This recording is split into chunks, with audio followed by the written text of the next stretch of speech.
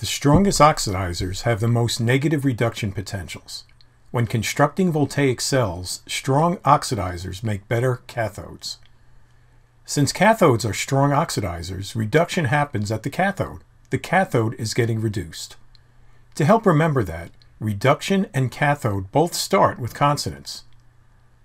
The strongest reducers have the most positive reduction potentials.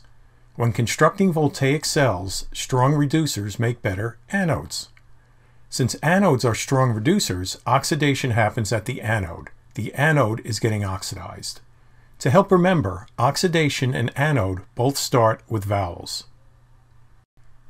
While cathodes have the more negative standard reduction potential, it is important to note that the value of the SRP for a cathode does not need to be negative.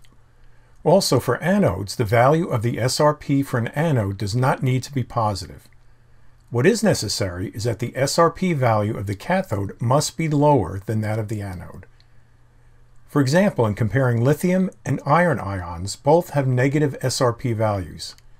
However, for this pairing, lithium plus has the lower SRP value, minus 3.04 volts, so Li plus, lithium plus would be the cathode, and iron 2 plus would be the anode. So the reactions are shown down here. Here's the lithium reaction, here's the iron reaction. And here are their two SRPs.